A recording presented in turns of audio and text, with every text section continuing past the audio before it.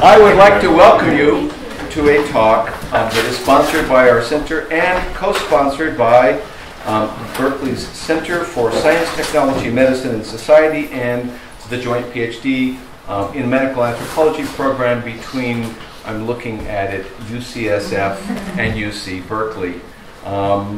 And I'm supposed to ask you to turn off all forms of electronic devices that produce obnoxious sounds unpredictably in the middle of talks. Um, now, it is with tremendous pleasure that I get to introduce Elizabeth Roberts, who is an associate professor of anthropology at the University of Michigan and probably known to a few of you already. However, just in case, I'll tell you a couple of things about her. First of all, she happens to have a BA summa cum laude right here from Berkeley. She then went on in a PhD program in medical anthropology, which frankly almost nobody gets to do because we always try to tell people to go elsewhere, which must give you some idea how much promise they also saw in Liz, and maybe how convincing she also could be with respect to her mentors. Um, she is a feminist ethnographer of science, medicine, and technology. Her work has included research on rep- uh, assisted reproduction in Ecuador and the United States, reproductive governance in Latin America, transnational medical migrations, and currently environmental health science in Mexico and the United States. She is the author of God's Laboratory Assisted Reproduction in the Andes. Also, it's kind of like a family affair published by our own University of California Press. The work challenges the foundational separation, the work of purification in Latour's vocabulary, for what that's worth, between medicine and religion by seeing how science and spirituality get linked through in vitro fertilization or IVF in Ecuador. Here she challenges fundamental assumptions about race, reproduction, the body, and gender, rethinking the assumptions of individualism that shape ideology of biomedical practice as much and in different ways, but as much in Latin America as in the United States. She challenges dominant narratives that see assisted reproduction as abnormal, as intrusions by people and technologies into individual bodies, by suggesting that many Ecuadorians view the practices as part of a normally collective experience of human reproduction, in which families, God, and money always play a part. Her research was extensive, involving almost of all of the IVF uh, clinics in Ecuador, and close work with, all right, graduate students, take notice here, a little bit of work here, doctors, other medical, biomedical professionals, patients, their families, biologists, sperm and egg donors, legal professionals, among others. The text gains depth and intimacy as she builds each chapter around a narrative of the experience of IVF for a particular patient and family a major contribution to Latin American studies, as well as to feminist studies and medical anthropology, Professor Roberts looks at how IVF became part of long-standing ideologies and practices of whitening, and she developed here the lovely term assisted whiteness. She has published eh, journal articles in the Journal of Royal, the Royal Anthropological Institute, the Journal of Latin American and Caribbean Anthropology, Anthropology and Medicine, Medical Anthropology, you know, all of them basically, including the highest barrier of them all, the American Ethnologist. I say this having just submitted one not too long ago. It took them six months to review it, and then the reviews, which were all favorable, we'd like to change you a few things, are longer than the article. I haven't even succeeded in reading them all yet, and she published in the American Ethnologist as well as clearly chapters in a range of co-edited of edited volumes. She co-edited with our own Berkeley Center for Social Medicine fellow Whitmarsh a special issue of medical anthropology, which is entitled, if my memory serves me, which it probably won't, towards a non-secular medical anthropology um, uh, that pushes, like uh, Talal Asad's challenge for anthropology in general, to think beyond the sorts of sacred and secular binaries. Um, I know you want to hear her a lot more than um, you want to hear me, so I'm going to leave all the rest of it aside. I'm just going to say how pleased I am to have her with us today. Um, the title is in front of you. Um, I'm supposed to also tell you that she's supposed to talk for around 45 minutes, at which point we have plenty of time for discussions if I shut up right now, which I will, and ask you to join me in welcoming.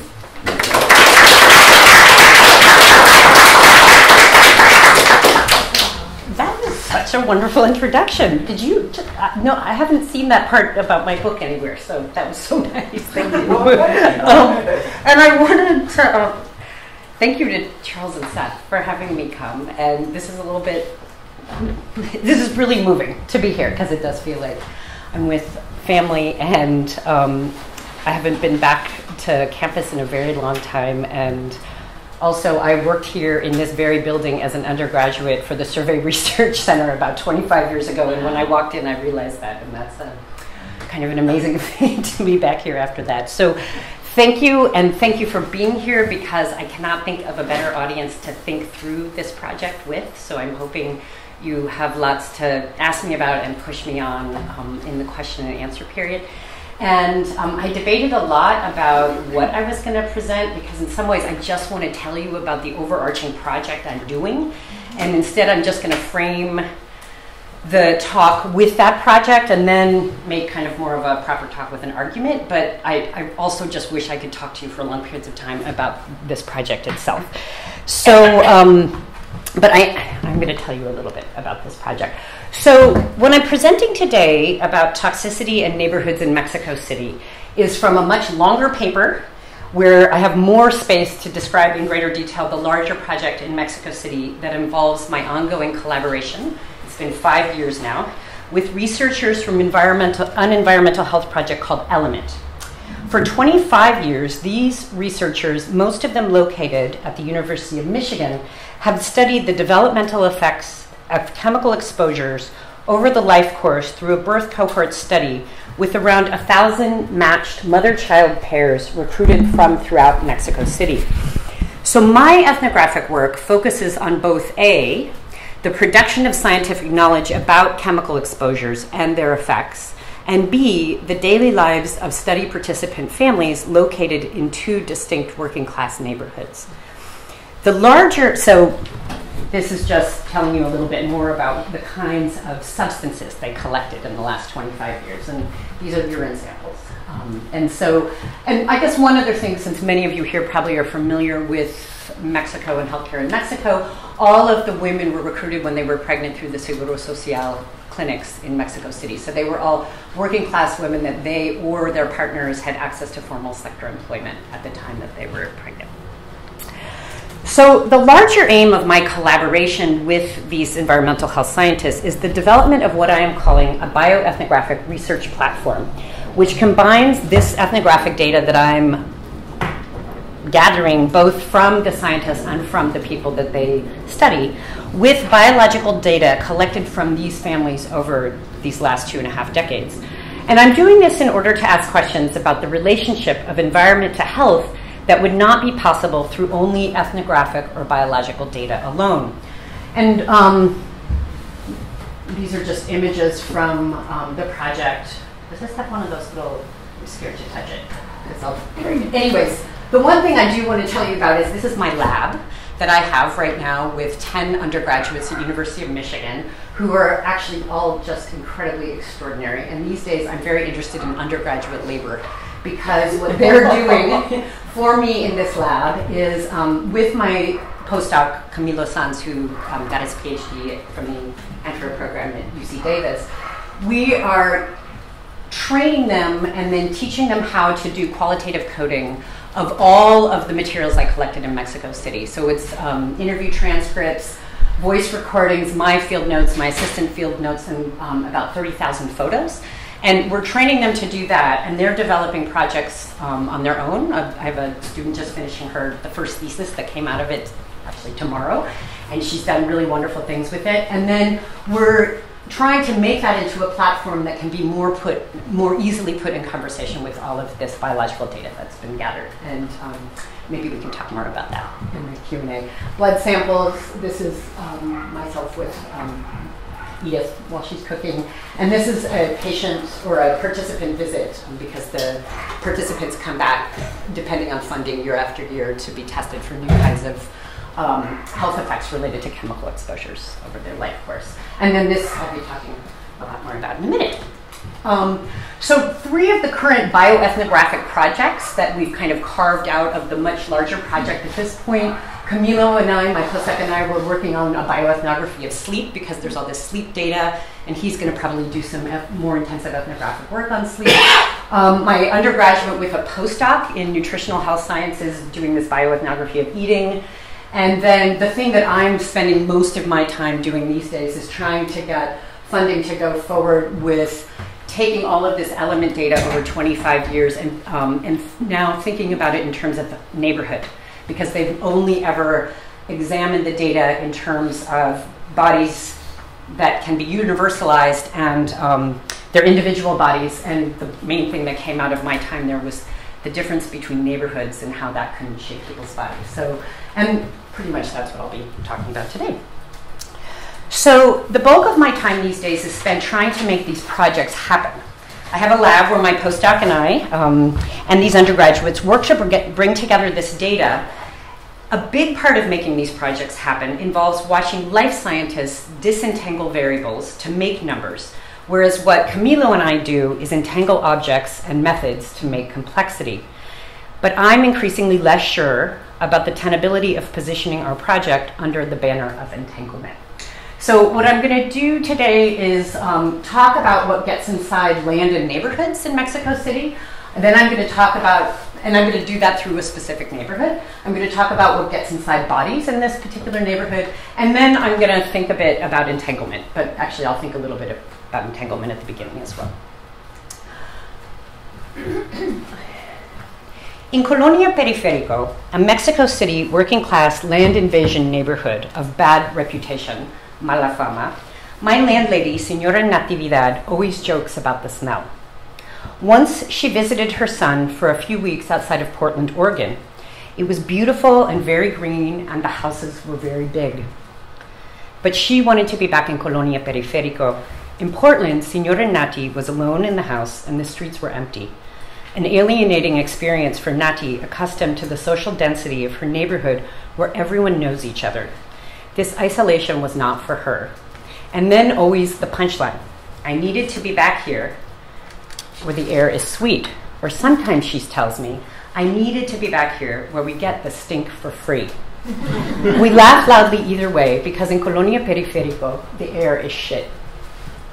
Senora Nati's narrow, sturdy, four story house, painted a rich aquamarine, right here, um, sandwiched between similarly vertical houses, is perched on top of a ravine holding a narrow river of dam runoff filled with aguas negras and garbage, so sewage basically.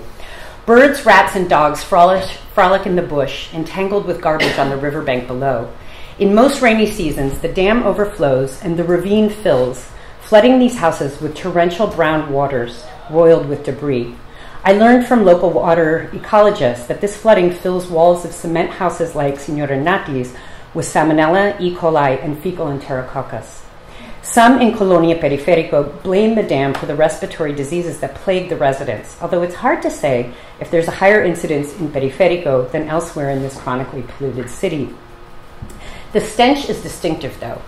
Every time I return to Periférico, even after only a few days away, I have to brace myself all over again for a nasal assault. In a few hours, I get used to it, though, and can even sleep. Nati missed it when she was away, though. The smell does double duty for her and for her neighbors in making this distinct place. Besides providing an aromatic signature, the dam, along with other noxious phenomena, like the ring of cement factories surrounding Periférico that fills its boundary areas with dust, provides protection. The dam and cement factories are part of Periférico's defenses, managing what gets inside by preventing the incursion of both the police and public health surveillance, as well as the forces of gentrification. And this is an image of the dam, or I have lots of images of the dam. Um, in this paper, I'm interested in how Senora Nati laughs about some things that get inside her neighborhood and body, like smell, but not others, like police. Entanglement, a key concept in medical anthropology and science technology studies, could be easily put to work for understanding what gets inside. By tracing all the contingent and uncertain entangled relations that endow objects with seemingly stable and linear boundaries, Entanglement assumes relational being, permitting us to see how boundaries restrict our ability to know the world better. However, despite my own continued participation in the logic of entanglement, life conditions in Periférico, where breathing shit makes sense, make me increasingly uneasy about the rather unexamined deployment and celebration of entanglement and the embrace of its close relations, uncertainty, and staying with the trouble. So these images, this is an image I use all the time when I'm um, writing about exposure and different models of exposure. So you have these like separate bounded bodies and separate bounded things that can go inside bodies. And I don't like this picture, but I can't find anything better to kind of express entanglement. So if anyone has a better picture, let me know. In this paper, where's the little thingy? No, not there. For that. Let's start with what entanglement rejects. Historians and philosophers of science provide us with a history of how boundaried facts came to be made through a world divided between subjects and objects, so that particulate, autonomous, rational individuals, numbers, genes, calories, neurons, and bacteria came into being as apolitical entities that stand on their own, to be seen by anyone through what Lorraine Daston calls mechanical objectivity. To misquote Annemarie Mol, these objects can be without being related.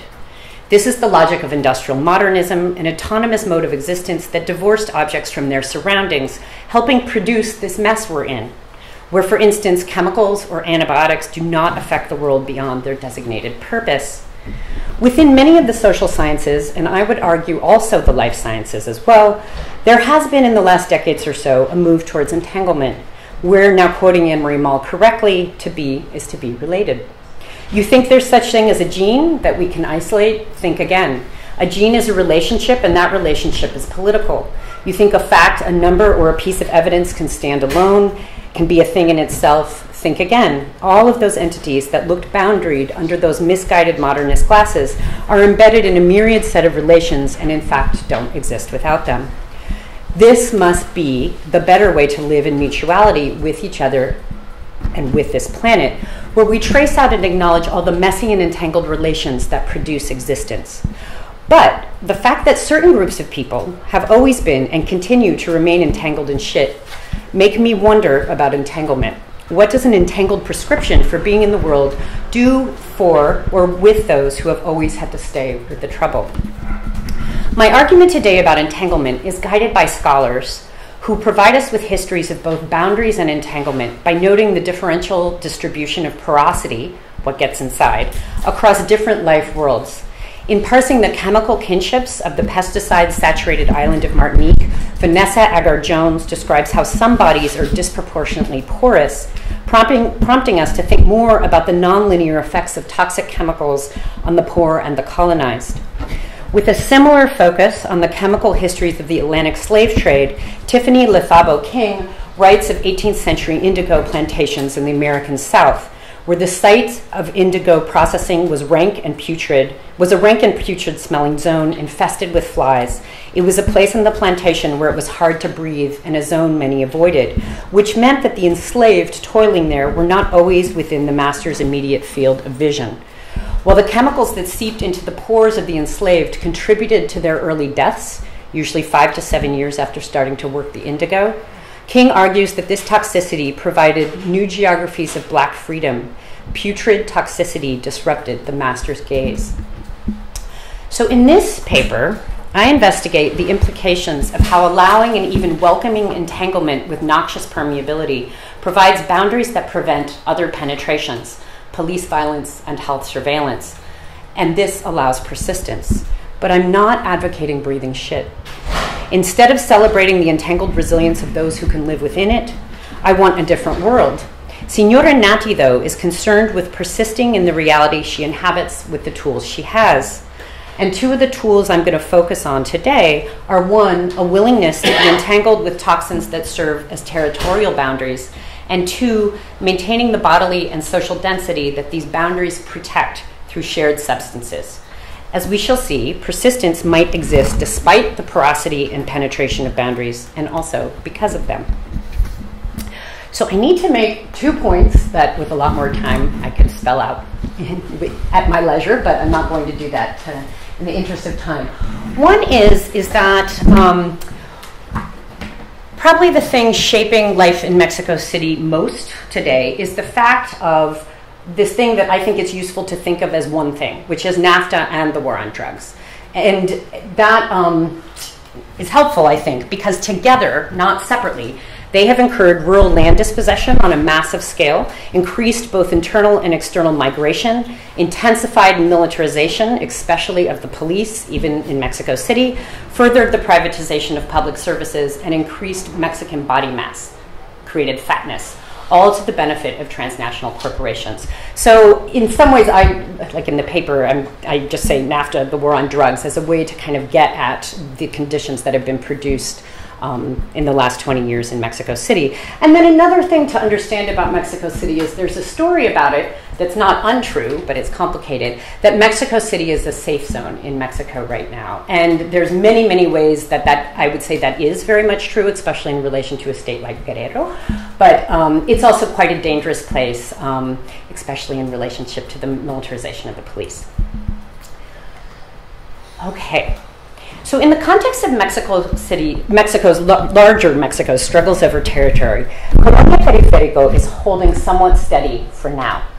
Colonia Periférico has multiple boundaries that allow for persistence. Entering Periférico by vehicle involves passing under a freeway interchange near a Costco, over a congested boulevard where new luxury condos rise, through an odoriferous recycling and garbage processing zone, then junk food distribution centers, and dusty cement factories established near the now defunct sand mines that made the cement that built mid century Mexico City. Walking in through this passageway leaves you covered in a fine residue of cement dust. The smell hits at the entrance to Periférico at a river overpass downhill from Senora Nati's house. Three civic buildings converge at this spot one of Periférico's two elementary schools, a corrugated metal community center and playground exercise zone, and a security module manned 24 hours a day by three rotating policemen with varying attitudes towards Periférico and its residents. For all practical purposes, this is the only entrance for vehicles, although there are many more by foot. This single entrance opens to Periférico's main artery, Calle Benito Juarez, a street that rises up a hill that covers the sand mines beneath. And um, sometimes houses collapse into the sand mines, and that kind of adds to this feeling of instability in many ways. All day and early evening, Benito Juarez is clogged with cars, combis, and delivery trucks, often completely at an impasse. Instead of heading up Benito Juarez, you could enter one of the several narrow callejones or alleys, or drive or walk alongside a long embankment wall topped by a cyclone fence that serves as another border. More junk food factories lie on the other side. The embankment is littered with garbage and cans of Activo, which is pipe glue solvent that, when inhaled, provide hallucinations on the cheap, and serves as a stage for graffiti contests and rap groups protesting police violence. The dam is upriver from the security module. Topped by a causeway, the dam is one of the most used walking entrances as it leads to an adjoining colonia.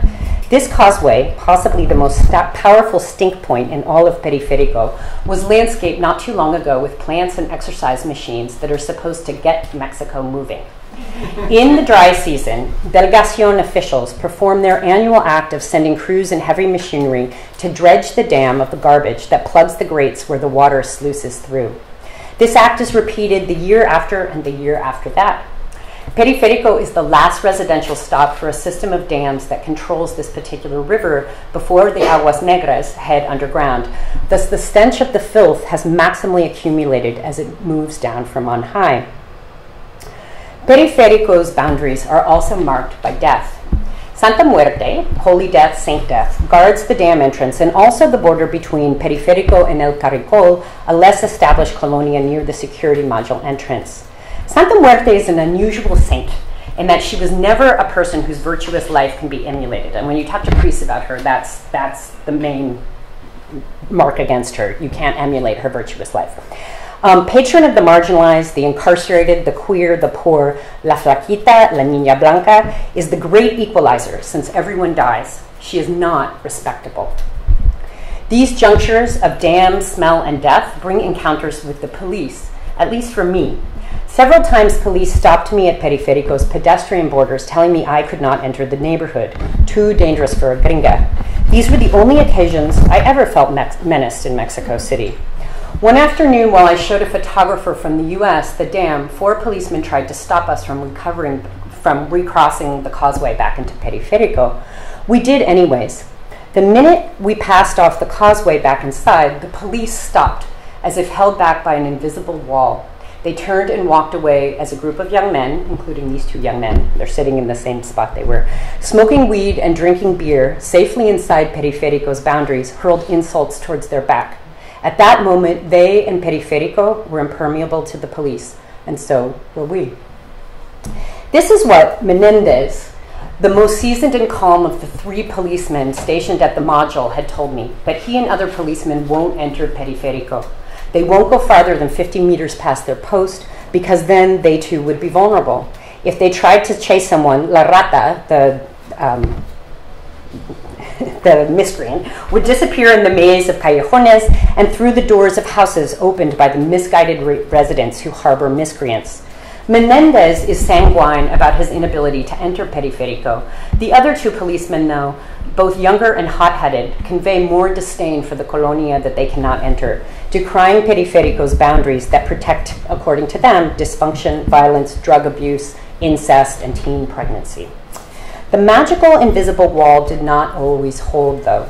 In the spring of 2015, the police entered Periferico all the way up to the top of Benito Juarez and shot and killed a young man that was trying to flee on foot.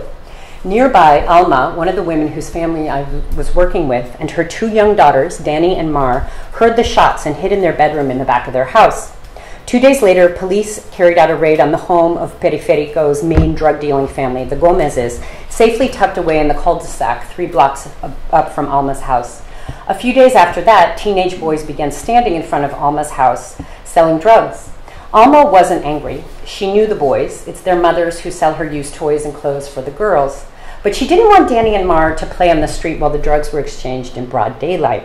The drug dealing boys left in mid December of 2015. The police are gone as well, at least for now, and by most recent accounts haven't been back. Colonia Periferico's mala fama extends to working class people who live outside, especially taxi drivers who know it by more than just reputation. Menendez reassured me that I was not the only person that taxi drivers deposited at night at the security module, refusing to pass inside, making me walk the rest of the way home. I took to doing informal interviews with taxi drivers about Periferico, Drivers repeated a litany of reasons for not entering what they saw as a crime infested neighborhood. They'd been robbed in Periferico, people didn't pay their fares, young men surrounded them when they were stuck in a bottleneck and would reach in and steal things. They would take anything they could. Who could blame them for not wanting to go inside? Um, in the longer paper, I have example after example of the ways that people were const- outside of um, were telling me about the danger of Periferico, including um, young men that helped me move some furniture in, telling me that, oh, okay, we don't want to enter, but now that you live there, you can tell people you live there and they won't mess with you because they know your boyfriend will come kill them. Or um, things like um, my neighbor across the street telling me that when her boyfriend, who lived outside the neighborhood, came to um, kind of harassed her and her baby and her mom, and he had beaten her when she lived with him and his family. All of the boys in the neighborhood got together and beat him up and sent him away. And then um, young men that I would interview would say that when they were in prison, they, besides Tepito, Periferico was the one neighborhood that garnered respect. And Tepito, if you are familiar with Mexico City, is the most kind of infamous neighborhood in Mexico City. So I tell you all of this to contrast um, how, soon after what I was ensconced in Senora Nati's home, I realized I had never felt so safe in my life. Inside Periferico, children play on the streets and everyone knows each other. There is absolutely no commercial reason to enter Periferico from the outside. There are no chain stores, not even the ubiquitous Oxxos or 7 Elevens that permeate all of Mexico City because of franchise owners' fears of theft. That means all of Periferico's abarrotes, the little stores, are family owned. While there are no chain or convenience stores, that doesn't mean that everything isn't for sale. Everyone I know, even kids, sell things from their homes to neighbors and family, whether it's hand embroidery, food, unlocking cell phones, glasses, classes, or catalog sales of lingerie, makeup, and shoes. Selling adds to the density of interaction that I'm now going to tell you a lot about. There is no reason to enter Periférico then unless you live there or know someone. For that reason, getting on the combi to enter Periférico at the nearby metro station feels like entering the neighborhood itself. You need to say hello and goodbye to everybody. People from Periférico who now live elsewhere tell me all the time how they miss this knowingness. Frequent novenas, processions, masses, velorios, quinceaños, first communions, and children's birthday parties take place in the middle of the street, with everyone moving to the side when cars needs, need to pass. Those passing by often join in. The parties spill over into each other. At most of these parties, I receive lessons on being, or in my case, becoming naca. So, naco is the main word, naca, if you're female, especially through vocabulary and tone of voice. While usually an insult, denoting its recipient as vulgar, unrestrained, tacky, and low class, in Periférico, being Naco was a badge of honor. Naco pride and Periférico pride went hand in hand, an embrace of the located excess wrapped up in Naco's Nahuatl root that is said to mean of this place. With loud laughter, almost to the point of a cackle, heavy makeup, big hair, and big tattoos, household display niches filled with multiple saints, often exact replicas of each other, packaged baby formula and garish soda bottles, heavy be- bellies spilling out of heavy clothes, loud music, and intensive sociality, Periférico is lived through an unrestrained, exuberant density of excess. This mode of living is not based on a model of pristine and minimalist nature that informed the lives of middle class and elite Mexicans seeking to live as boundaried, non excessive individuals in their well resourced lives. Periférico's density made for close quarters and Naco disinterest in drawing boundaries between the natural and the artificial allowed for many forms of chemical kinship. People's livelihoods colonized the cramped streets mostly without complaint Cars and pedestrians have to maneuver around temporary stalls selling fruit, underwear, costumes, saints, and pirated DVDs. Some of these livelihoods are noxious, from car painting that take over the sidewalks with fumes and spray emanating outward. There was one tortilleria that I couldn't go to, although everyone else was fine because it was right next to um, car spray or spray paint all the time, to the clouds of dust pouring out of wood and wor- workshops, to the acrid stench of the metal shop on the hill above the dam. These street businesses are noisy, although they cannot drown out the cacophony of speakers blasting from roofs or the chained dogs bark- barking. In all of this, it's striking how little the smell of the dam figures into everyday conversation. The smell is just one more thing, like noise and spray emanating from inside Colonia Periférico that gets inside its residents' bodies. Nearly everyone tells me that Periférico is safer than it was before when they were young. There's multiple theories about why. Some say there were inside delinquents, and these young men are now dead or in prison or grew up. This could be true. Time and geography seem to be part of this story as well. The density of knowingness has had more time to grow since the initial land invasion, and so have the ramparts, the cement plants, the freeway, the junk food factories. Another way the defensive has grown is through the smell, through the aguas negras. The dam used to be a soccer field half the year, and during the rainy season, the river ran so clean you could swim in it. It drew people from the surrounding colonias. Now the dam is a boundary that permits passage, but who would cross this shit isthmus except for those who live inside? The specific area of Colonia Periférico's founding made these ramparts possible. Periférico is a land invasion neighborhood, meaning it was settled by colonists, mostly from rural Mexico, who squatted land in the early 60s through the early 70s. Many of Mexico City's current upscale neighborhoods used to be land invasion settlements where the squatters were evicted through the privatization of ejido lands, meaning um, land made available through agrarian reform. So they became available for high end real estate development. This hasn't happened in Periférico, though, where what was built there has made for an impressive stability that has endured. Senora Nati's household is similar to the majority of households I got to know in Periférico, holding up to four generations with title to their homes, often in an older woman's name. No one who lives with their natal family pays rent. This means that Periférico's residents do not have to contend with the evictions so common to working class poor and increasingly middle class people in nations, regions, and cities with skyrocketing real estate markets. Periférico's residents tell me of shopping mall developers sniffing around a few years ago, but then losing interest because of the smell and the reputation. After living in Periférico for six months, I lived for six months in Buena Vista, a working class neighborhood, working, and there again, I worked with three families, also participating in the environmental health study, and then got to know everything I could about the neighborhood and other families as well.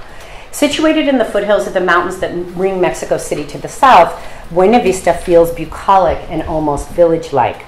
My small house sat within a family's larger compound that also housed horses, sheep, chicken, and dogs. Buena Vista was not a land invasion neighborhood. Lots were laid out in, precise, in a precise grid and sold to buyers in the 70s and 80s, which means its wide streets have right angles, unlike the winding, confusing alleys of Periférico. As in Periférico, the three families I worked with had title to their land and homes, but all around them, household compounds were in the process of being bulldozed for new condos. The beginnings and ends of Buena Vista are not obvious, running into colonias that all feel the same. Unlike Periférico, Buena Vista is located on major transportation routes and has commerce and flow. Unlike in Periférico, taxi drivers drive me home all the way at night. With its right angles, fresh air, and wide vistas of forested mountains, walking in Buena Vista doesn't feel like walking through intestines.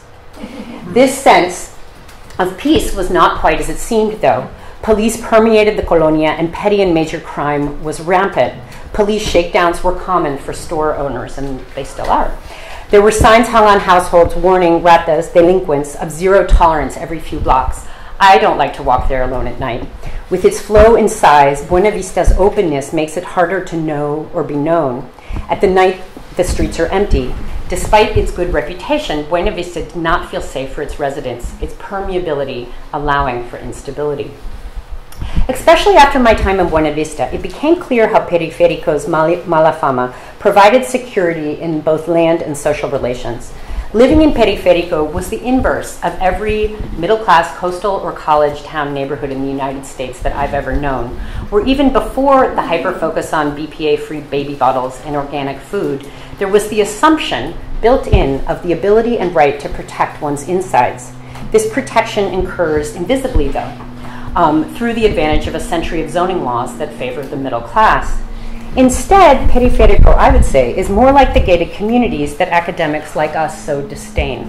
Just like the wealthy who live inside these walled zones, the residents of Periférico work to protect their insides from outsides, where NAFTA and the drug war rages on. Instead of gates and private security guards, though, Periférico's stability is predicated on its mala fama, its toxicity, a protective porosity that allows for its persistence.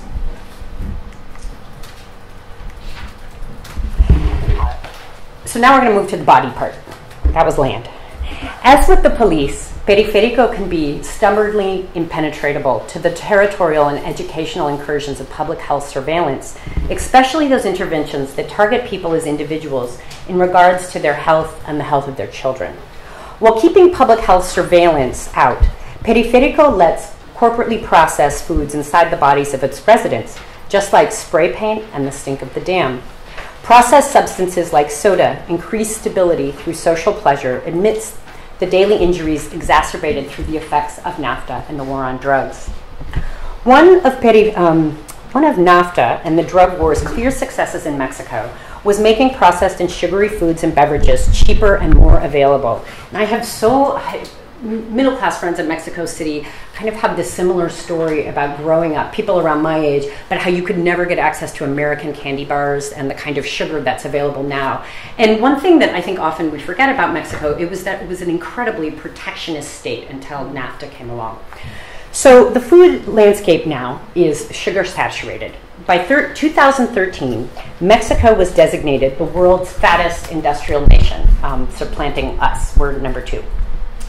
This designation, through Mexico's individualizing public health anti obesity efforts into overdrive, with a special focus on soda, identified as one of the key drivers of the obesity epidemic. And Mexico, indeed, is the largest consumer of Coca Cola products in the world. Um, by landslide.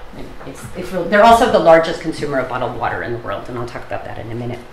So, um, there's a lot to say about public health efforts um, within the NAFTA era, NAFTA era, um, and I've been in a lot of conversations with public health folks in Mexico who are part of the people who are the architects of this, these kinds of campaigns to tell people to, to give their children less soda. And there's a lot of interesting things to say about that, and including their own knowledge that they really have no ability to do anything structural given the way these trade negotiations work. Um, but they'll also say things like these sorts of ads, which are all over Mexico City, they're huge billboards, are not really geared towards regular people, they're geared towards um, lawmakers in their efforts to do things like get soda taxes passed. So there's, you know, they're they're smart people, but they're um, in this situation that's pretty untenable and trying to figure out what to do in terms of this thing that they're convinced is a huge problem, which is obesity. So while billboards like these um, do not appear to get working class people to drink less soda, they do work to create more class distinction. One of the most palpable differences between upscale and working class and poor neighborhoods in Mexico City, as in much of the urban world, is body size. Upscale neighborhoods are thin, everywhere else is fat. Colonia Periférico is no exception. Most people in Periférico over 15 are heavy, and so are many of the kids. Periférico is a heavy place. These billboards say give your children water, but water is simply not reliable. Because Periférico is located more centrally, it has water almost all the time, but there's a lot of working class neighborhoods in Mexico City that just doesn't have water all the time. But drinking water, um, they have it all the time, but drinking water trucks selling bottled water, which is what people say they need to drink, um, don't always get in. Other deliveries do get in though. Coca Cola, Sabritas, which is potato chips, Bimbo trucks clog Benito, Calle Benito Juarez um, the major artery of the neighborhood, backing up traffic at the entrance. This power to get inside is unknown to the police force guarding Periférico's entry. It's also a power unknown to social and healthcare workers. The director of a Seguro Popular healthcare clinic that serves Periférico, along with other low income colonias nearby, was stunned when she heard that I lived inside. She explained she could not get complete health surveys in Periférico because her workers were too afraid to enter. In the landscape of the Delegaciones social, social services, Periférico is a punto rojo, it's a hot spot. In meetings, interviews, and conversations with social workers, those charged with making Periférico less marginalized, they would rattle off its endless problems. It's too dense, rampant teen pregnancy, children don't attend social programs. It was narrated as, as an abject and dangerous cesspool of violence, drugs, and broken families. These characterizations didn't square with my experiences of Periférico as safe and stable. So when the horrors of Periférico were narrated, it came to seem as if the colonia was designated a punto rojo precisely because of its successful resistance to pastoral ministrations, a form of functionality that was difficult for these state actors to imagine. One thing that social workers and police get right, though, is that drugs are done inside Periférico, and those who do them, mostly young men, do them in public. What would be difficult for them to know is that in many ways public drug taking contributes to Periférico's stability. Two drugs dominate the streetscapes. I can never say this in English anymore. Marijuana, mar- instead of marijuana, and Activo. Marijuana is a social drug among that people do among and with others. And there's a lot to say about it, but I assume you all know a little bit more about marijuana than Activo, a pipe blue solvent um, easily purchased at hardware stores, which provides hallucinations on the cheap, as I said before. It's not social in the same way that um, pot is. The young men who inhale it usually do it alone, or sometimes alone together on pilgrimages, on religious pilgrimages. They stare into space, sometimes shadowboxing the air while muttering. Yellow and red Activo cans litter the callejones and the walls bounding Periférico. Activo users are usually very thin. As my eyes became accustomed to the heavy knuckle bodies of Periférico, I began to wonder about any thin man. Does he use? Does he have no women to feed him? Does he not share in the pleasures of being enmeshed with others? Senora Nati, like most of the grandmothers and great grandmothers that I know in Periférico, is both moralistic and philosophical about drug use. She attributes drug use to the social failure of families. She doesn't talk about structural economic decline. But she does not blame the user either. Her godson living across the street uses Activo. She speaks fondly about this thin, this rail thin young man with a permanently glassy stare. She tells me how when he isn't inhaling, he's sweet to her and she feeds him. Another Activo user, Osvaldo, is always stationed on the street near the bakery. People give him food and sometimes odd jobs. He is treated similarly to Eva and her brother Rodrigo, two mentally disabled siblings who are constantly put to work throughout Periferico, hauling garbage and sweeping. Acceptable public drug use is a striking non acceptance of the terms of the war on drugs, which, in the name of health, forces drug use underground. It was the very public nature of their drug taking that allowed Activo users safety enmeshed in the care of the colonia that integrates drug users and the disabled into everyday life. Soda, though, permeates the bodies of more residents than illegal drugs. Its post NAFTA drug war dissemination is wider and more profitable. As with illegal drugs, there are public health efforts to prevent its penetration. When asked directly about soda, most working class people I know link it to ill health, maybe fatness, maybe diabetes, but all maybe in the future. Sometimes they link it to nerves. That's the bigger issue. They all point out that it costs almost no more than water. It tastes better. The pleasure is shareable. It's rude not to offer it to others. Who would share water? Some men tell me laughing that they once tried to stop because they heard it might cause problems later on, but they only lasted a few days. Laughing even harder, they declare, it's more addictive than what the narcos sell.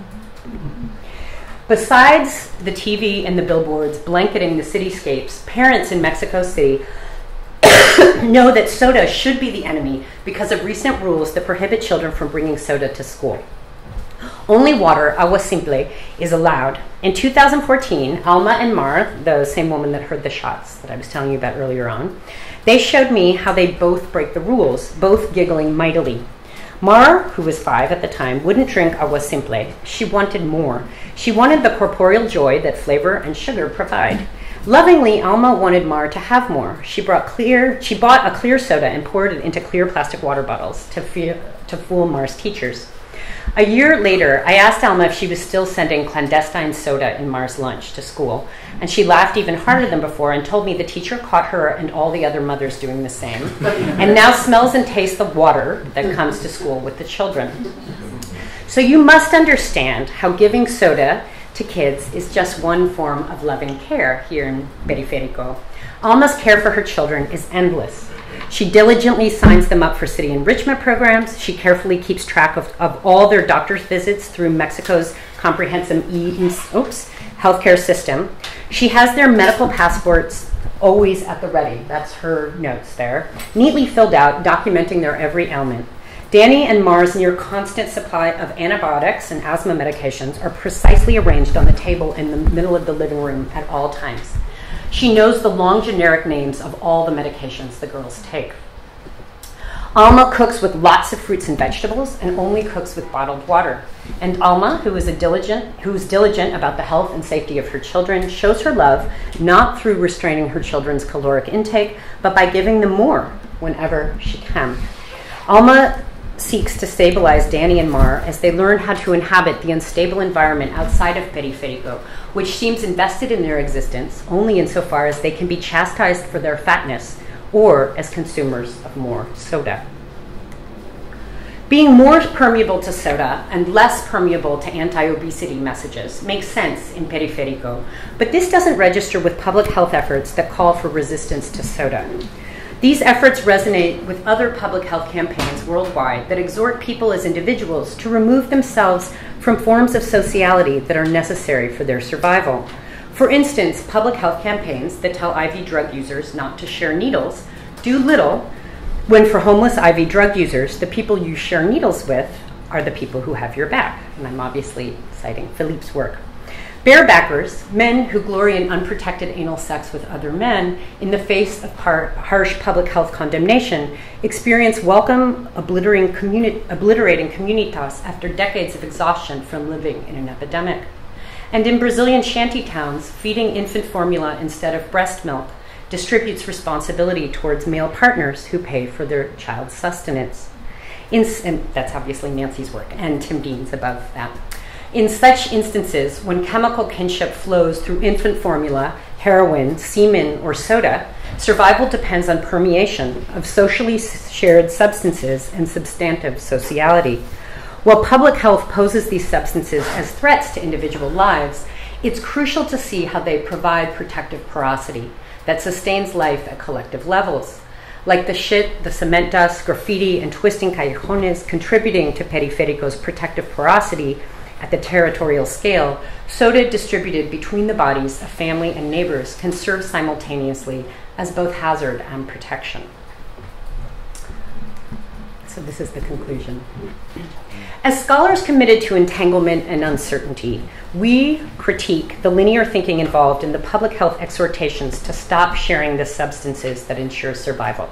And in the longer paper, I'm juxtaposing this with all of the work that's um, emerging around resilience and critiquing resilience, but also thinking a lot about how resilience embeds some things that we might possibly want to preserve. But maybe we can talk about that in the Q&A. Linear thinking, we know, shuts down the possibility of tracing how substances and chemicals might be engaged in looping relations with bodies situated in their specific worlds, or that bodies with histories might be part of a feedback relationship with chemicals. Linear tendencies tend to universalize bodies while simultaneously individualizing behavior. For instance, in anti obesity campaigns that don't take a radically transformed food landscape and the multiple destabilizations of the drug war into account. By contrast, the nonlinear thinking of entanglement allows us to ask if people breathe shit to protect themselves from the police, might they be more or less affected by soda or by lead, which is one of the main substances that the project I'm working with looks at? Or ask how might the vast transformation in the post-NAFTA drug food um, drug war food landscape linked to the increase in body mass shape the uptake of bisphenol A and phthalates, which are other chemicals that this project I work with um, looks at. However, as we shift our efforts to loop and entangle phenomenon amongst the uncertainty, we need to notice the effects of leaving linearity behind. Boundaries and linear models might be necessary responses in places where life is relentlessly entangled, and objects like water are never stable, stabilized with or from their relations. For many of the world's inhabitants, the entanglement of everything with everything is relentlessly exhausting. I'm pretty sure, for instance, that residents of Colonia Periférico would like to share in the privilege of inhabiting a world where objects can be experienced as boundaried from the relations that make them. A world, for instance, with reliable drinking water, formal sector employment, and a civil police force. Our first bioethnographic correlation, um, which took over five months to make and is a huge story in itself, shows that the average blood lead levels of children in Periférico are nearly a full microgram per deciliter higher than in Buena Vista or in the element cohorts overall. And I'm learning that that amount is highly statistically significant. Thus, in Periférico, protective porosity involves toxic entanglement. With the goal of knowing the world better, then, STS might complicate celebratory calls for the uncertainty of entanglement that stays with the trouble by taking into account both the practices that make boundaries and what those very boundaries have to offer. By tracking where both boundaries are drawn and where permeability is emphasized in order to make stability, we can avoid celebrations of breathing shit without dismissing the densely social life worlds that produce stability through its inhalation. Senora Nati seeks persistence through the management of what gets inside neighborhoods and bodies. Persistence entails her neighborhood, where bodily permeability to toxicity prevents territorial penetration. Soda gets inside, spray paint gets inside, bacteria get inside, a fecal transplant that, in a funhouse mirror image of the Cold War immune system, prevents the penetration of foreign invaders. Porosity to drugs, soda, and shit stabilizes the borders of Periférico in the time of NAFTA and the war on drugs. The stink is the price paid. The stink of a life lived in a dense, gut shaped labyrinth that you miss while staying at your son's empty house in the green and lonely grid of Portland.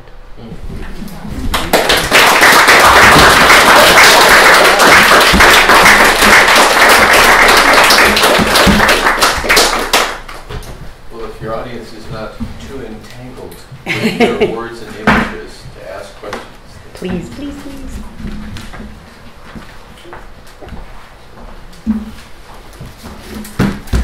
I'll get Thank you. That was really interesting. I, I come from Mexico, I'm from Chiapas. Oh, mm-hmm. And uh, obviously, obesity in Chiapas is, a, is, you know, that's a national thing. But um, Chiapas is very, very rural and um, and people are having you know the effects of drinking sugar drinks.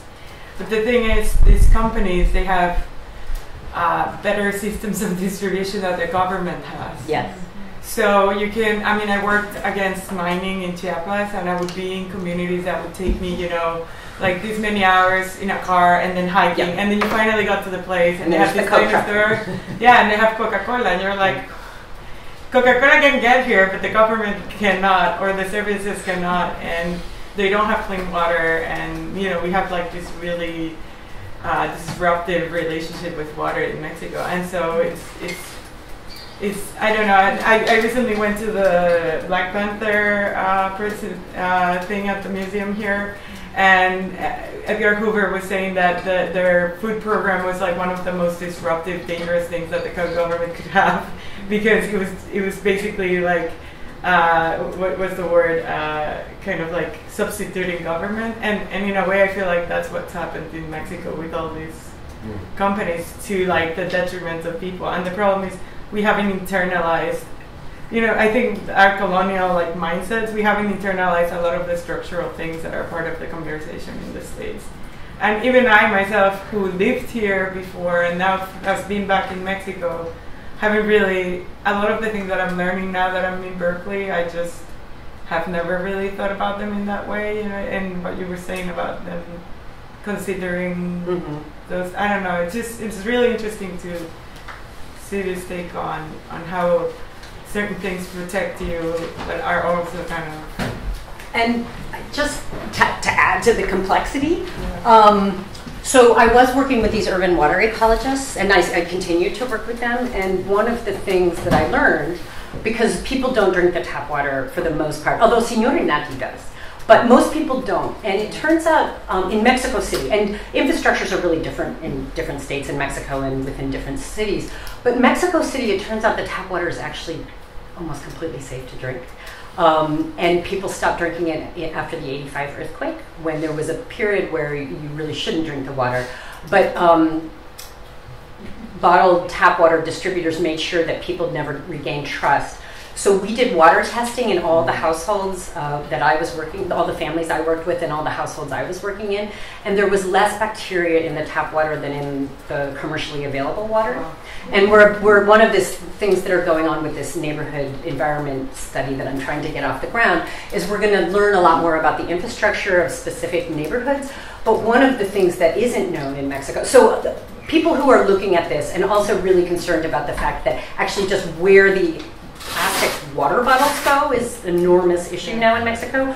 Um, they also just don't know that much about um, the pipes and metals in the pipes. Um, so there's this whole way that the water actually is safe to drink, but everyone thinks what you must do is buy water, and that is if you're going to drink water. But a lot of people just don't drink water. Could I ask two- just a, a very first, a very short one, just on the condition of the experiment, the bioavailability of this population. So how have they become so permeable? Because you're so, I mean, that, that's a small one. Because you're, As you're, as experimental subjects. as subjects. experimental subjects, because it's, I mean, I'm part of thinking about, because you set up this extraordinary, amazing talk, and it's, it's, it's, but it's, it's, but that's a surprise in some way, given everything else you set up. And, it's, and I'm thinking with that. in The surprise is that it's an extraordinary talk. No. Or that- The surprise is that it's, it's, it's that there is this pre-existing to your own entry, entry yeah. permeability, bioavailability of Yes. people to these grants. So it's the, the, the bigger question is is, is um, so. I mean, I'm thinking about a different approach to obesity in Berlin, for example, Mhm. where where the um, uh, there there's no question that that, for example, the slow death of of uh, classed obesity uh, provides necessary succor in a in a painful and hurtful world, but at the same time is a problem. But here, there's more of I'll, I'll use it in the best sense, more of a functionalist claim that, on the contrary, it's not simply that it it it becomes psychically necessary, but but it's killing you, and that's the violence. But that in fact this also produces the condition of stability of life of, of something else, and so it, it- we're almost left in some. And if we could afford not to only be literary about it, in some aporetic, undecidable condition where the the political choices are suspended. Otherwise, we'd line up amongst all the other experts who are trying to permeate and penetrate. It's it's but. So I'm trying to think through this paper is so extraordinary with what the claim is for linearity at the end. Because I Mhm. still don't quite. I mean, it's the demand you make on us is powerful, but I'm trying to think through what what you want at that last moment. Yeah. Thank you. I, I'm not sure either. Okay, the first question is kind of easy, I think. Uh, uh, I think it's a really interesting question because the well, the answer is kind of interesting. So, one of the conditions of doing science in a place like Mexico is that, or doing longitudinal birth cohort work, is that the conditions of um, production and the making are so different. So in the United States, when you go to enroll people in a study, the main people that are going to interact with your study participants are, I mean, I'm doing this completely by putting myself in this category. They're young women just out of college who are psychology majors who are going to go on to graduate school. And that is the way the funding structures work i- to do that kind of, or they're going to be, maybe if they're taking blood, um, you know, they they're going to go to nursing school or something like that. And Mike Montoya talks about this in his work in, in Mexico. In Mexico, or at least this particular project, but I would say in Mexico, one of the things that's really interesting is that in some ways they have a much better public healthcare system than we do because so you can easily recruit people through IMSS. But the other thing is this project has been going for 25 years.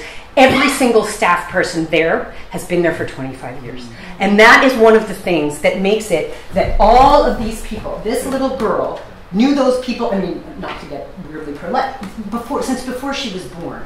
I mean, every, and one of the biggest ways that people feel like they are being cared for, even though I would argue IMSS is a pretty good system, um, is that they get kinds of personalized attention, including, this is the big thing, being picked up in a private car and taken to these appointments and then giving tons of referrals. That kind of connection means that their retention rates are incredibly high. And so my when the women that are the ones that call people up and say, "Hey, it's time for another round," came, called up on my behalf. I mean, they have all thousand mothers memorized. They know every single thing about those people. So when I say, "Oh, I'm going to see Edith today," they know exactly who I'm talking about. They know the issues she's had with her kids. They they they know it all. So um, and the main thing that I weirdly often am telling these environmental health scientists is how the lack of attention overall structurally is the thing that's allowing them to do this study in such a comprehensive way with such high retention rates. And they keep doing all these weird management surveys about like why do people retain? And i you know it's complicated having these relationships with environmental health scientists. And they want me my input on these surveys and the thing that i'm not really pointing out to them is just the act of asking the question is the thing that is again binding the subjects to the study even more. So um, when they called up, I mean, we went to a, a few other families that ended up saying no because what I was doing was really intrusive. Like I was at their houses like eight to 12 hours a week for months and months and months, and I go back constantly. Um, but it was just not hard to recruit. So that's the answer to that. And then, I mean, I hope I get to talk to you more about what I'm trying to get at the end. I'm not. I'm not sure. I mean, I'm. I'm increasingly uncomfortable with entanglement, and I'm hanging out with these people that are making numbers. I'm now responsible for helping make a number, this blood lead level. They never parsed by neighborhood. And this blood lead level shows up, something that kind of is predicted by what I was saying. And I don't want the numbers to be stronger than my ethnography, but I'm trying to think about ways that then what I know complicates that number. Like, you know, there's a, I'm learning a lot about neighborhood um, effects literature. And all of the things that I'm saying are going on in Periférico are the things that in neighborhood effects literature are, supposed to contribute to bad health and social incohesion or social disarray. And I'm kind of saying, actually, I think there's real graffiti you could think about in really different ways than the way you're doing it. But, but I just, I don't know. I, I, don't, I don't know. I don't know what I want to do with linear, and I, but I think there's something about constantly celebrating this. And I mean, the person I'm not naming here, I really, Eben's book, I love him, but Emergent Ecologies is way too celebratory for my taste of what it means to live in these kinds of toxic environments. So I don't know. It's not like linearity is the answer. Yeah, uh, this was a great paper. It's a really, really wonderful project, and I can't wait to start reading what you I don't know, maybe you already have something published on that. No, and this is, I just sent the longer version of This in the other day. Okay, And so, so I want to talk hopefully, to you about um, entanglements. about what? Entanglements. Entanglements, so, please. Um, I mean, it was kind of hard to follow, but what I think you setting up at the beginning was a really great description of why entanglement celebration is a problem. Mm-hmm. And I'm 100% behind you on Mhm. Eben's, and even maybe Donna's. Yeah. I'm, but um, the second part of the talk really made it feel like you were trying to force these Mhm. very problematic situations of toxics getting into bodies through drugs and coke into a model that would sus- support this idea of boundaries being good. Mhm. And I just don't know if that um, works. Um, because uh, for a couple of things that might, and I don't have a solution to how to make the boundary. I mean, you ended it by saying, look, we have to complicate the model, which I agree with. But, you know, think of on the one hand, the, the notion of public health as a good. It seems like a boundary is good in a condition of harm or assault. And um, a boundary is not good in a condition of something that's, that's salutary. So, you know, there are efforts to think through public health in ways that use notions of entanglement. Um, Alex Nading's work on Mhm. entanglement in, in, in public health is really amazing in that it shows how the entanglements really are, are working to, to, and that you can't see the efforts as anything but entanglements. And the other way to maybe problematize your second half of the paper is to think about maybe the, the fact that science itself, you kind of have to, you, you're trying to straw man science a little bit around this idea of the object formation and the, the linear thinking, when in fact a lot of the work in science studies is talking about entanglement because science is itself using models of entanglement. The world is entangled, and the models that are being used to understand toxicities um, in bodies are very much about entanglements and uh, capacity, carrying capacity, and, they always started out that way. You know, adverse effect levels are all about you know Mhm. the entanglement of not being able to set a, a decent limit in a condition where you know the good Mhm. is not clearly outweighed by the bad. So um, I would push you to think more about those problems. Um, and also the possibility of science itself. You, you're saying that you're pushing back on the science that's being used here, but actually their models might already be much more uh, promisingly entangled and using models of the world that are more entangled. So, yes, and the more I hang out with people in environmental health located within public health schools, the more disappointed I am in actually the, their ability to do entangled thinking. Mm-hmm. And part of it is because many of them are located in school nutrition. And so, I mean, different science, you know, different histories of like exposure science is different than nutrition science and things like that. And I'm, I'm learning a lot about that. So, um, and then there's the people who are like the public health officials in Mexico that I'm talking to that are extraordinarily interesting and brilliant and also have their hands tied in all kinds of ways about what's possible. But in thinking about things like soda or nutrition, when they're working with participant populations, the the linear variables they're working with are really, really strong. And I'm trying to think of an example. I mean, the fact that I'm saying, um, you know, soda might mean some other things than just a calorie is really pretty impossible to talk through among this particular group of people. The other thing is is that I'm finding really interesting in terms of environmental health that I thought had these histories of thinking what I thought of as more environmentally is that what they're even though they're talking microbiome, metabolome, exposome, an exposome is its own separate thing that I think is based on a different model. They still only will talk about singular variables in terms of relations. And so when we get in there in these meetings about like does how does the bisphenol A and the obesity work together, it is completely a singular variable. It is it's not it's not bigger than that at this point. And I and I'm, I'm not i'm struggling with what to do with that i mean and, and i completely agree with you that i think that I mean, every time I go and I read someone else who's thinking really creatively about how to use epigenetics in this non reductionist way, it's really inspiring, or the microbiome, but they're not doing that.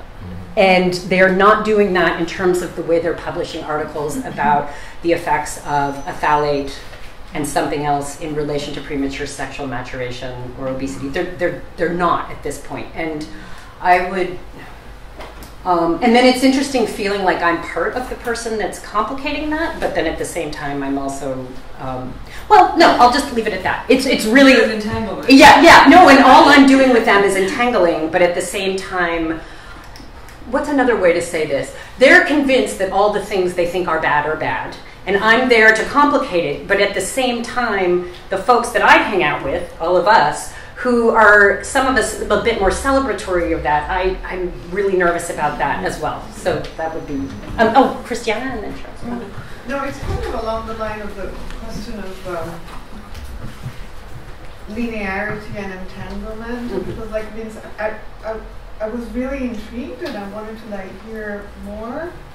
And I kept hearing you saying there is entanglement and then there is linearity. well, I, in fact, by following your ethnographic, your empirical material, what I felt was that entanglement and linearity are very entangled. Yeah.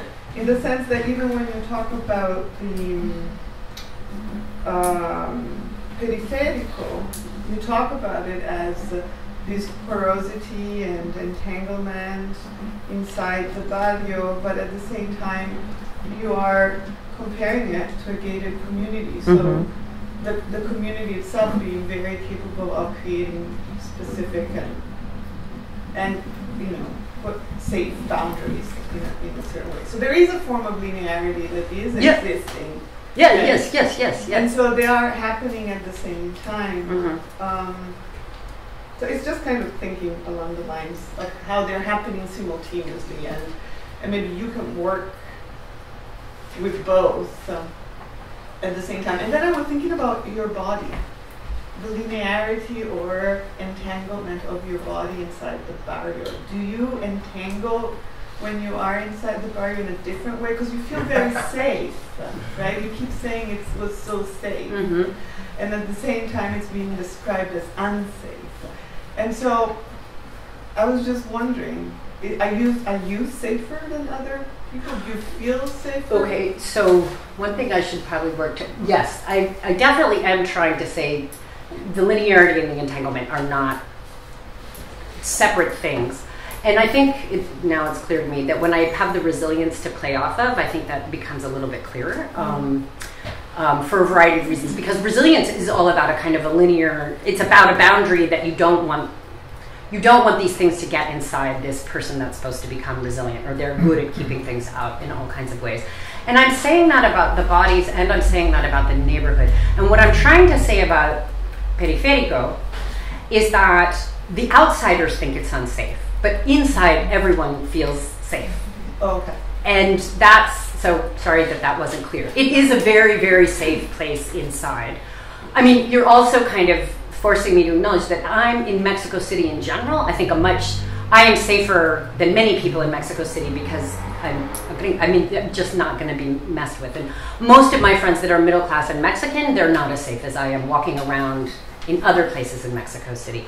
But in this particular neighborhood, everyone's safer. And, and that's something that they express and know. It's the people narrating about it that can't get inside and are frustrated by their inability to um, manage and survey and, and interpolate. But there are different kinds of safety that Yes. you're talking about. There is also an entanglement that it's about health. Well, that, not being safe. Well, so that that's the thing that the, pr- the you know the trade-off is that I think people are pretty clear, actually, that um, the ways that the safety is being produced is through things that um, are ambivalent in all kinds of ways, and.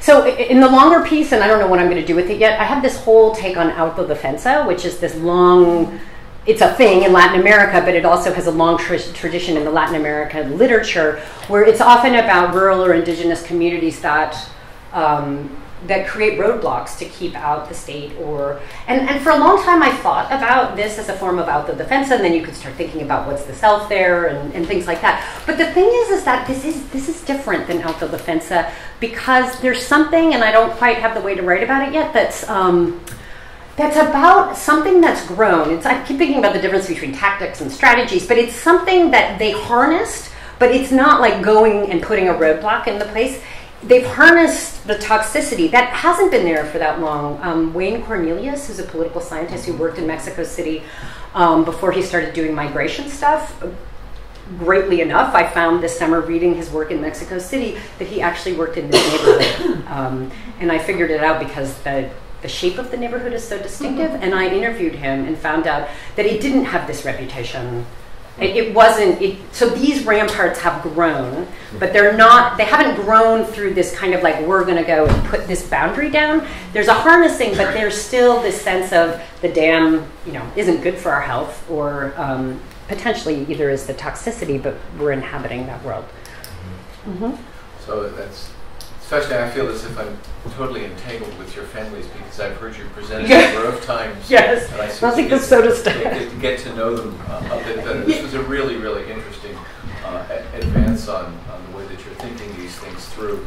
And, and I think I began partly with uh, Christiana's question here. So if there's a, if you're creating a binary opposition, with linearity that entanglement is defined precisely in terms of what you want to avoid, which also means that the primary distinguishing feature of, of entanglement then becomes temporality. And of course, that's only one way in which you could potentially define or think through dimensions of entanglement. And I wonder also partly if, because are you, where might this be placed within a bioethnographic sort of approach? Is this a priori, is this a conceptual work that occurs outside of the periférico, outside of the colonia, which then helps you explain what's inside of it, which might be kind of interesting in terms of precisely the way you're, that you're thinking these through ethnographically. Are there any sort of bioethnographically emergent concepts that might emerge from within uh, the colonia that might be accessible to help you either mm-hmm. Replace, qualify, rethink, reinflect notions of entanglement or whatever you might want to think through. Uh, I also wonder about some of the work of people like Eduardo Menendez, who has thought about relationality and how all categories are defined relationally and how that, that boundary work um, is done vis-a-vis creating these sorts of oppositions and how dynamic that is, precisely because one is defined in terms of the other and how the forms of labor and care, say what happens in the clinic and what happens outside, are always mutually defining precisely and entirely sort of pragmatically dependent. So I wonder, are there any ethnographic ways that you could inflect entanglement or potentially mm-hmm. find something that would replace it? Mm, great question. Um,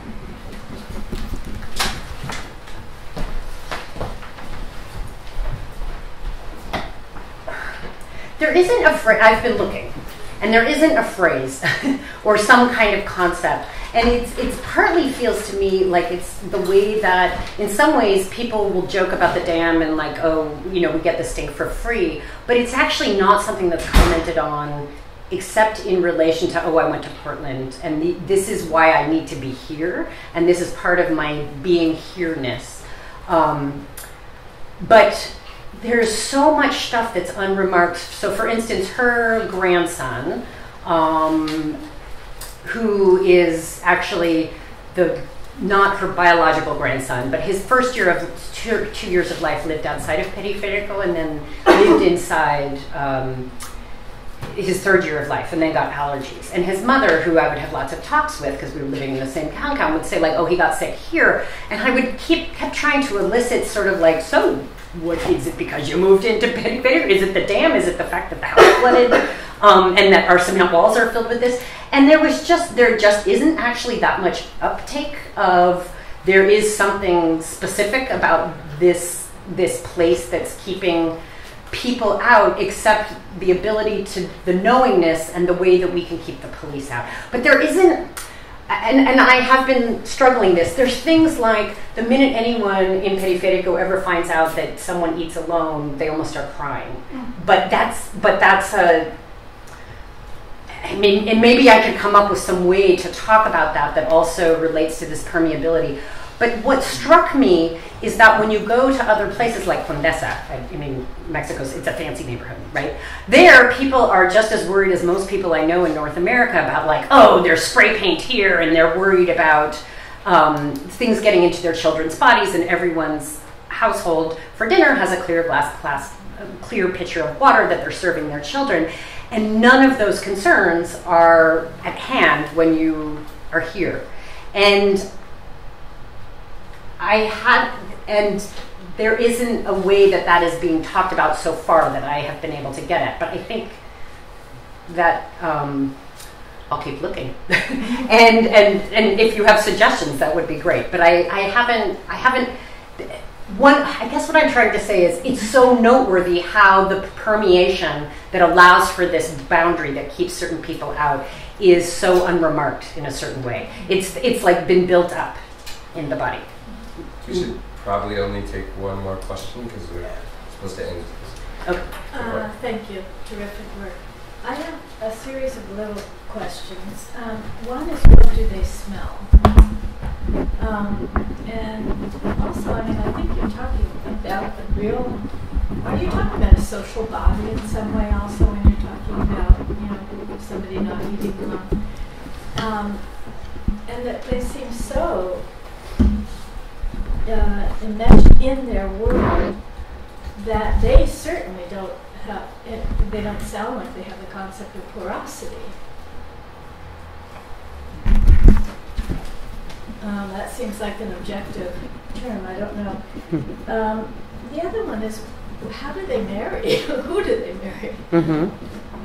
Um, okay. Um, what do they smell? Talk about the smell. I mean, like I start with Senora Nati, always joking about the smell, but people smell it less than I smell it. I think. I mean, that's that's my.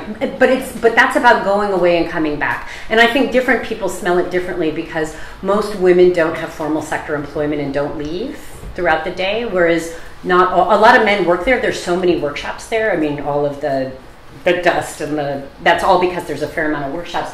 But the men who go away and come back are being outside the smell mm-hmm. and then coming back into the smell every day. Although I realized after when I would just go away for a day, I wouldn't notice it. It would be going away for a few days and coming back that it would be like there it is. And it also kind of depends on the season of the year, um, like if it's rainy or dry. Um, and, and I have been thinking a lot about that also in relation to different physical sensations like temperature, which so smell and temperature. Um, that's a good question. Okay, who do they marry? I'm skipping over your question about porosity because that um, people tend. There's a lot of marriage inside. Um, I was always people were trying to marry me off to get me to stay inside, and um, um, and then there's a fair amount of marriages, or I mean, legal or not, informal or not, with people outside in other working class neighborhoods. And then the main thing is, I mean, it's like so old fashioned anthropology, the, the pattern is natural, patrilocal residence. So, you know, they're living in um, the, the, the man's household. And if that's a family in Barrio Norte, they're moving there. So some of the women I knew were, didn't grow up in Barrio Norte. And so they're um, strangers for a while and then come in and have a lot to say about the difference between this place and where they grew up in all kinds of ways. So perhaps I should, first of all, I'd like to thank Deborah Koo for not only arranging thank this you talk, so but much. for labor over the entire academic year. the Berkeley Center for Social Medicine, and I'd like to thank you for a wonderful talk and for a visit back home.